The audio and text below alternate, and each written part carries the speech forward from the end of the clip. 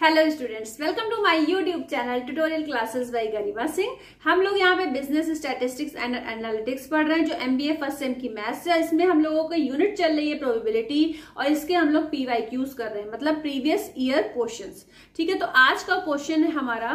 देखिए a problem in business statistics is given to four student कोई problem है जो चार स्टूडेंट्स को दी गई है, वो स्टूडेंट्स है ए बी सी डी ठीक है? और उनके सॉल्व करने के चांसेस दिए गए हैं one by two one by three one by five one by six अगर सॉल्व करने के चांसेस दिए हुए हैं तो ना सॉल्व करने के चांसेस हम कैसे निकालते हैं?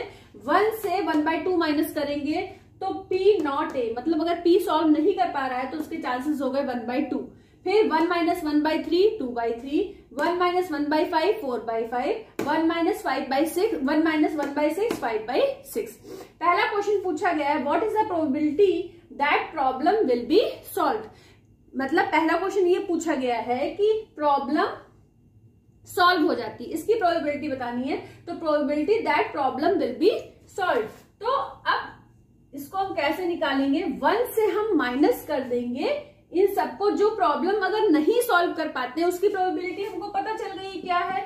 One by two two by three four by five और फाइव बाई सिक्स अगर हम इसको वन से माइनस कर देंगे तो हमें निकल, हमें पता चल जाएगा कि प्रॉब्लम सॉल्व करने की प्रोबेबिलिटी क्या है, कि प्रॉब्लम सॉल्व हो जाती है, इसकी प्रोबेबिलिटी क्या है।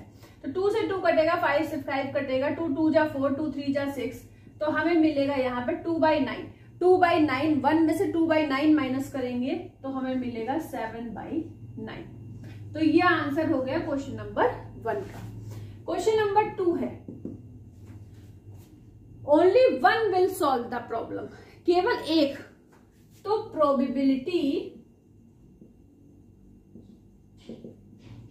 that problem will be only one that only one will solve the problem अब ये है कि कोई केवल एक ही प्रॉब्लम सॉल्व कर सकता है। तो हम इसको पेयर में बनाएँगे। अगर हम मान लेते हैं कि ए प्रॉब्लम को सॉल्व कर लेता है तो सॉल्व करने की ए की प्रोबेबिलिटी वन बाई टू है और ना सॉल्व करने की प्रोबेबिलिटी बी सी और डी की क्या है? Two by three four by five और फाइव बाई सिक्स इस वाले पेयर में ए सॉल्व कर पाता है प्रॉब्लम को। अब हम मान लेते हैं कि अगर प्रॉब्लम को बी सॉल्व कर पाता है प्रॉब्लम को कौन सॉल्व करता है? अगर प्रॉब्लम को बी सॉल्व कर पाता है तो बी वाला हम ये वाला लेंगे, बाकी ना सॉल्व करने वाले लेंगे। तो one by two into B solve कर पाता है तो one by three C solve नहीं कर पाता वन बाई फाइव डी भी सॉल्व नहीं कर पाता तो फाइव बाई सिक्स तो यहाँ पे किसने सॉल्व करी प्रॉब्लम को? बी बी ने। अब हम मान लेते हैं सी ने प्रॉब्लम को सॉल्व करा। तो one by two one by three नहीं नहीं तो इसमें हम लेंगे जो प्रॉब्लम नहीं सॉल्व कर पाते। मतलब ए का लेंगे वन बाई टू बी का लेंगे टू बाई थ्री क्योंकि बी नहीं सॉल्व कर पा रहा है सी सॉल्व कर पा रहा है। तो सॉल्व करने वाला सी का क्या है? वन बाई फाइव और डी है हमारा फाइव बाई सिक्स यहाँ पे सी केवल प्रॉब्लम को सॉल्व कर पा रहा है। यहाँ पे ए सॉल्व कर पा रहा है यहाँ पे बी सॉल्व कर पा रहा है यहाँ पे सी सॉल्व कर पा, रहा है प्रॉब्लम को। अब अगर डी प्रॉब्लम को सॉल्व करता है तो बाकी तो सारे ना सॉल्व करने वाले रेशियो लिख देते हैं। One by two two by three four by five into D solve कर पा रहा है तो वन बाई सिक्स ठीक है? तो जब आप इसको सॉल्व करोगे क्वेश्चन को तो क्या आपको मिल जाएगा? आपको मिल जाएगा जब सॉल्व करोगे। तो यहाँ पे आप आ, देखो फाइव से फाइव काट दो टू से टू काट दो टू टू जा फोर टू थ्री जा सिक्स तो आएगा यहाँ पे टू अपॉन नाइन ऐसे ही जब इसको सॉल्व करोगे फाइव से फाइव कटेगा टू टू जा फोर टू थ्री जा सिक्स टू टू जा फोर फिर टू थ्री जा सिक्स तो यहाँ पे मिलेगा वन अपॉन नाइन फिर यहाँ पे क्या मिलेगा सॉल्व करने? फाइव से फाइव टू से टू कट गया। वन अपॉन एटीन फिर यहाँ पे डी सॉल्व कर पाया था प्रॉब्लम को, ठीक है? इसके बाद इसको जब सॉल्व करोगे टू से टू कट गया टू टू जा फोर टू थ्री जा सिक्स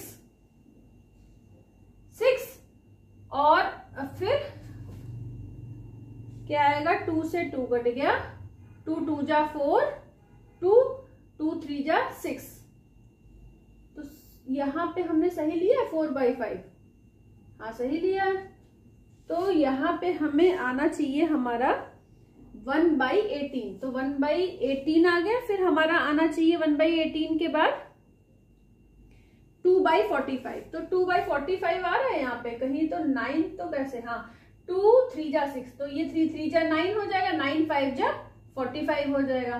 तो टू अपॉन फोर्टी फाइव आ जाएगा हमारा। ठीक है, टू अपॉन फोर्टी फाइव हमको मिल गया। अब इस पूरे में अगर आप एलसीएम ले लो नाइनटी फिर यहाँ पे क्या आ जाएगा? टेन ट्वेंटी आ जाएगा, यहाँ पे टेन आ जाएगा, एटीन फाइव जा नाइनटी उसके बाद फोर्टी फाइव टू जा नाइनटी टू टू जा फोर। इन सबको आपने अगर ऐड करा, थर्टी थर्टी फाइव तो आ गया thirty nine upon ninety thirty nine upon ninety को जब आप सॉल्व करोगे, थ्री वन जा थ्री थ्री थ्री जा नाइन, थ्री थ्री जा नाइन, फिर तो ये आपका आंसर आ गया सेकेंड क्वेश्चन का। अब आपका थर्ड क्वेश्चन है। थर्ड क्वेश्चन क्या है? प्रोबेबिलिटी निकालनी। At most one of them will solve the problem at most one केवल मतलब एक सबसे ज़्यादा अगर कोई सॉल्व कर पा रहा है तो कोई एक ही बंदा सॉल्व कर पा रहा है। इसमें यह भी कंडीशन आ जाएगी कि कोई भी नहीं सॉल्व कर पा रहा है। तो जब एक लोग सॉल्व कर रहे हैं तो ये तो हमने निकाल ही लिया। तो ये चार पेयर तो आपको यहाँ पे लिखने ही लिखने प्लस थर्ड वाले के लिए हमने यहाँ पे लिख दिया प्रोबेबिलिटी दैट एट मोस्ट ये वाली पूरी लाइन लिखनी होगी। At most one will one of them will one of them will solve the problem तो ये चार पेयर तो आपको लेने ही पड़ेंगे कि जब कोई एक एटमोस्ट मतलब वन तो कभी ए ने सॉल्व करा, कभी बी ने सी ने डी ने उसके बाद तो ये पूरा निकला था थर्टीन अपॉन थर्टी लेकिन एग्ज़ाम में आपको ये सारे पेयर लिखने होंगे, फिर यहाँ थर्टीन अपॉन थर्टी लिखोगे। फिर एक पेयर ऐसा बनेगा जब कोई नहीं सॉल्व कर पाता। तो कोई नहीं सॉल्व कर पाता तो one by two two by three नहीं सॉल्व करने वाले नीचे लिखे हैं। Four by five into five by six जब इसको आप सॉल्व करोगे टू से टू काट दोगे फाइव से फाइव काट दोगे टू टू जा फोर टू थ्री जा सिक्स तो आ जाएगा टू अपॉन नाइन तो thirteen upon thirty plus two upon nine तो यहाँ पे आपको क्या मिल जाएगा? नीचे तो टू सेवेंटी मिल गया। ऊपर क्या मिल जाएगा? थर्टीन में नाइन का मल्टीप्लाई करो, नौ तीन, सत्ताईस, दो, one one, seven, plus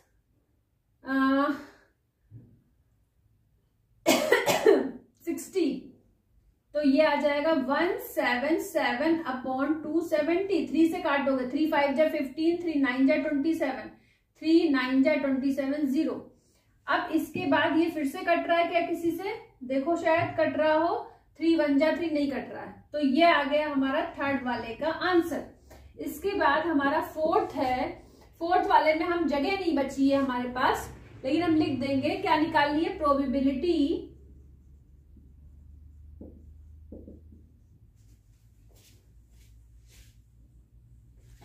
probability that at least one will solve the problem. एक ने कम से कम, एक ने तो एटलीस्ट वन मतलब कम से कम एक ने तो प्रॉब्लम सॉल्व करी। ठीक है? कम से कम एक ने तो एटलीस्ट वन ना? तो इसमें क्या होगा? कम से कम एक ने तो प्रॉब्लम सॉल्व करी, ज़्यादा से ज़्यादा दो भी हो सकते हैं कि दो ने सॉल्व कर दी, तीन ने सॉल्व कर दी या चारों ने सॉल्व कर दी। तो पहला हम ले लेते हैं जब ग्रुप जब एक ने सॉल्व करी, मान लीजिए ए ने सॉल्व करी तो ए का तो सॉल्व करने वाला हमने ले लिया ये वाला, बाकी सबका अब देखिए, पता नहीं ये वीडियो हम सोच रहे हैं कि वीडियो बन रहा है और वीडियो जो है थर्ड पॉइंट के बाद जब हमने यहाँ तक बता दिया, इसके बाद ये वाला कुछ भी वीडियो में नहीं आया। तो ये हम दोबारा से बना के उस वीडियो में ऐड कर देंगे। तो देखिए लास्ट में हमें निकालना था at least one will solve the problem one will solve the problem तो probability that at least one will solve the problem तो मतलब कम से कम एक तो सॉल्व कर रहा है, ज़्यादा से ज़्यादा कितने भी लोग सॉल्व कर सकते हैं इस प्रॉब्लम को। तो हमने मान लिया कि अगर ए सॉल्व कर लेता है, बाकी तीनों नहीं सॉल्व कर पाते तो ये ग्रुप बन जाएगा। ए का सॉल्व करने वाला, बाकी का ना सॉल्व करने वाला। एक ग्रुप बन गया। फिर हमने इस दूसरे ग्रुप में माना कि ए और बी दोनों सॉल्व कर लेते हैं। One by two one by three और सी और डी नहीं सॉल्व कर पाते हैं तो ये वाले लिख देंगे। उसके बाद थर्ड वाले ग्रुप में हमने माना कि ए बी सी तीनों सॉल्व कर लेते हैं। तो one by two one by three into one by five और डी नहीं सॉल्व कर पाता इंटू फाइव बाई सिक्स उसके बाद हमने माना कि चारों सॉल्व कर लेते हैं। ए बी सी डी तो one by two into one by three into one by five into one by six ये सब आ गया।